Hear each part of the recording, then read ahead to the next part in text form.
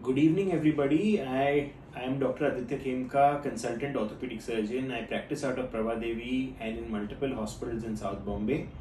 I specialize in doing hip and knee surgery, which includes hip and knee arthroplasty and hip and knee arthroscopy, sports surgery.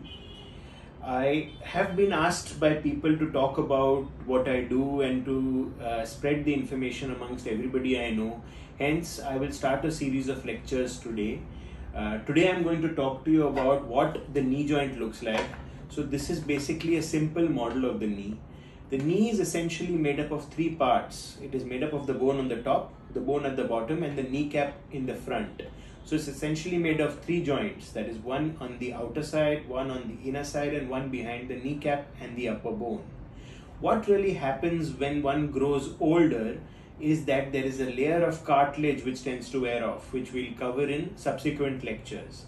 Today, I will also tell you about what ligaments are present within the knee, which includes a ligament on the outside, a ligament on the inside, two ligaments in the middle, and two menisci.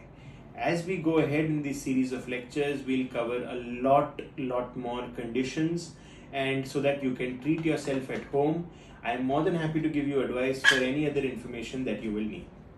Thank you very much.